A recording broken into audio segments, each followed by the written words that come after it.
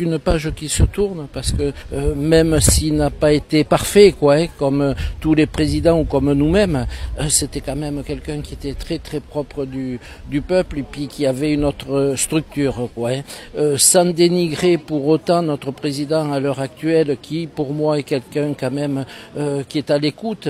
suite à ces grands débats qu'il peut faire, mais c'est malgré tout une page qui se tourne sur sur la politique, quoi.